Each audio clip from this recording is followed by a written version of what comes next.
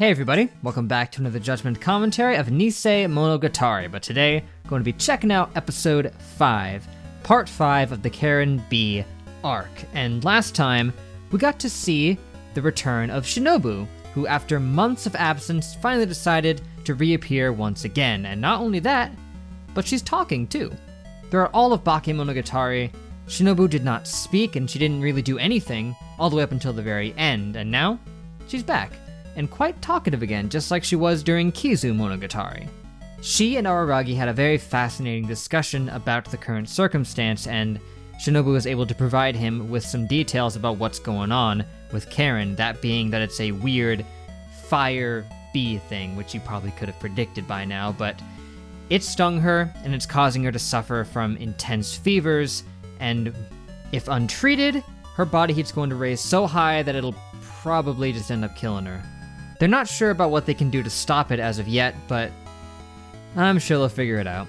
Now, when it comes to the general nature of that scene with Araragi and Shinobu, with the benefit of hindsight and some very helpful comments, it's clear that that scene did serve a lot more narrative purpose than one might initially assume, in that it provides interesting contrast because it was similar in many ways to that scene with Suruga. Remember when Araragi burst in on her and it was very uncomfortable for him? Well, this wasn't anything like that because despite them being in a similar circumstance, Araragi was not uncomfortable. He was very chill and casual about the whole thing. Shinobu as well, and that does speak a lot for the characters now they see each other in that, you know, they're very close and connected. They're, you know, almost two sides of the same coin type of thing. So them being in this situation, if you can even call it a situation, is, you know, not that big of a deal for them. That they can just bathe right next to each other and they don't think anything of it. So it does certainly help to show that, and it did a masterful job of conveying that because honestly, the casual nature of the scene did do wonders for developing that about them. Even if, yeah, there were some shots that were a bit more sensual than I would have liked, but hey, that's Monogatari. They do that all the time, but even still, there was never any direct emphasis, like, say, with Suruga. The camera was never focused on specific parts of her, like with Suruga, and Araragi's eyes were never, like, scanning her up and down in a similar fashion his perspective was always more static. Sure, there were some more sensual things in frame at certain points, but it was never the central focal point of the shot, so it means that Araragi is not seeing her in that way like he did with Suruga. So yeah, despite the fact that the scene was still uncomfortable just in principle, it did do a lot to establish character stuff, and I can always appreciate that. And the contrast between that and the Suruga scene, it's it's pretty brilliant, I gotta say. And honestly, despite the fact that I said I had to ignore a lot of that to pay attention to the dialogue, it wasn't that difficult to do because again, they never centered the focus on that. It was just always in the background, casually occurring on the sidelines, so it wasn't at all hard to focus on the dialogue, especially because their discussion was actually pretty engaging, all things considered. So overall, definitely not a simple fan servicey scene by any stretch. It did establish a lot of narrative purpose, so it's a lot better from that perspective. So anyway, enough rambling on for no reason. Let us just begin. We got a water droplet. Wow, what a fascinating episode. One of the most engaging of Nise so far. I mean, Kaiki, he's just someone I'm loving to hate right now, just because he's so terrible. He's just, I can't even put it into words, man. Just how much he wants to validate doing these horrible things just because it gets him money. It's like, how can you do that? Like, like he, he sells to middle schoolers specifically because they're easier to dupe. And he's perfectly fine with that. They're just an easier mark, so he goes for it. Wow, what a coward. what a wimp, what a loser. He won't even He won't even try to take on more difficult marks. He wants to try to rip off somebody where it'll be pathetically easy to do so. Not only is he greedy, he's lazy. the ultimate combination of the deadly sins greed and sloth all rolled up into one. Ain't that nice? But man, he really talked her into that position. She could have just punched him. Probably still wouldn't have worked out. I doubt that he was just gonna let that happen, but there's a possibility that had she acted, she would have been able to just kick him in the face.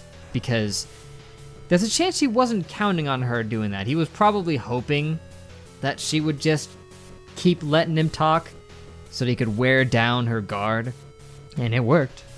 Yeah, this was a pretty straightforward episode for the most part, providing some answers about Kaiki, a lot of answers about him, really, and about the whole situation. Like, the timeline of events is just that Kaiki's going around the middle school, selling weird spells and charms to, to kids, fully expecting them to not work so that they can, you know, help them with their problems. And then, of course, Karen, being the warrior of justice that she is, baits him into letting her in there to sell her some stuff, only so that she could clock him in the face for his heinous crimes. But through the fine art of speaking, he was able to wear down her confidence enough that he could walk right up to her, bop, and that was it. Although, interestingly, he chalked that up to her imagination. That she was, it was a placebo. That him saying, oh, I'm gonna get, here's, here's a gift, it's a bee, poking her in the head, and then she collapses. He talked about it as if he believed it wasn't real. That it was through her own creativity that she thought it was real that made it occur. Although he did also say that once the poison sets in, she'll be able to get up and walk around, so it's a little contrary to that, but maybe that's just his way of saying, you know, once your body realizes that nothing's actually happening, you can leave, but Although he also did say to call for help. Weird. Placebos are strong, man, so I guess it's maybe he just thought it was that powerful of an effect. But of course it was real, so did he just unintentionally incite that to happen without knowing that it was real? Thinking that it was fake? Or does he know it's real and is just putting on an act? So far, Kaiki has to be one of the most fascinating of antagonists that the Monogatari series has seen because before this, when it comes to antagonists, there weren't actually that many. I mean, in Kizu, we got the three vampire hunters, but we didn't get a lot of info on those guys, on what motivated them and drove them. But we got a lot for Kaiki, and he's a he's a real interesting guy. And now, to try and take the illness from his sister, he must kiss her. Quite. I don't think he's had a chance to kiss very many other people before this, so that's kind of sad, but alright. If that's the way they're gonna play it, then I guess that's just what we're gonna have to be here for. Or maybe not. Who knows? Maybe it's just on the cheek. He didn't say where. He just said kiss. Mm. Alright, anyway guys, I guess that's going to be it for now, but thank you for watching.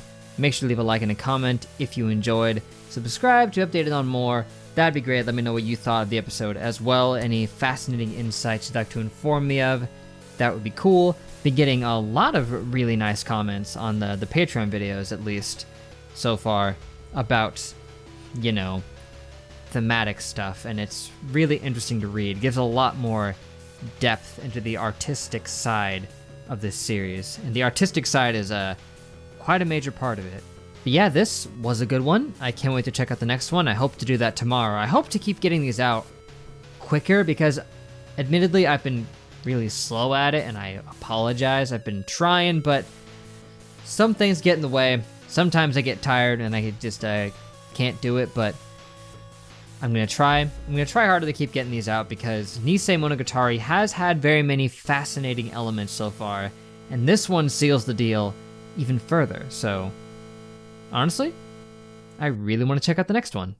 And I hope you guys are excited for that as well. But for now, this is it. Hope to catch you next time. Till then, I will see you guys later.